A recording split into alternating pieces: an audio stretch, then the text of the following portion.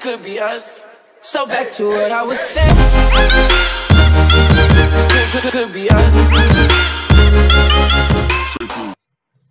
Danh tính chồng đại gia phong độ ít lộ diện của nữ hoàng ảnh lịch Diễm My. Doanh nhân Hà Tôn Đức thỉnh thoảng mới hổ tống Diễm My 6X tới dự các bữa tiệc của bạn bè thân thiết. Diễm My sinh năm 1962 tại Khánh Hòa, suốt từ thập niên 80-90 của thế kỷ 20, cô được mệnh danh là nữ hoàng ảnh lịch của làng giải trí trong nước. Ngoài công việc người mẫu, Diễm My còn tham gia diễn xuất trong nhiều dự án phim như Sương lạnh, Bí mật thành phố cấm. Cô cũng chính là một trong số những tên tuổi ăn khách của dòng phim thị trường cùng với Lý Hùng, Việt Trinh, Thu Hà, Diễm Hương. Với sắc vóc nổi bật cùng sự nổi tiếng, Diễm My 6X từng được rất nhiều đại gia theo đuổi. Đến năm 1994, cô hạn chế các hoạt động nghệ thuật để xây dựng hạnh phúc với doanh nhân Hà Tôn Đức ở độ tuổi 32. Thời điểm tổ chức đám cưới với nữ hoàng ảnh lịch, Hà Tôn Đức là một Việt kiều điển trai, giỏi giang và giàu có.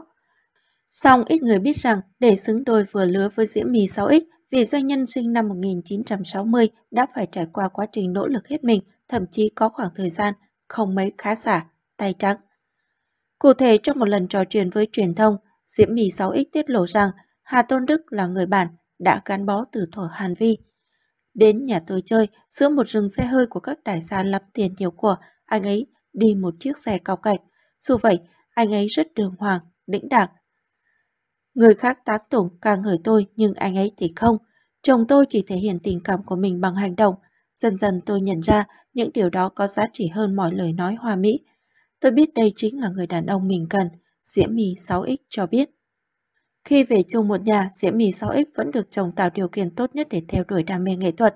Tuy nhiên lúc mới làm chồng người nổi tiếng và có còn đầu lòng vì doanh nhân phong độ rất hiếm khi xuất hiện trước đám đông.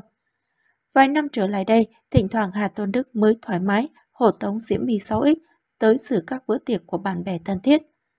Sau 25 năm gắn bó, hiện tại Diễm My 6X và ông xã đã có hai cô con gái xinh xắn cùng cuộc sống đầy êm ấm, hạnh phúc.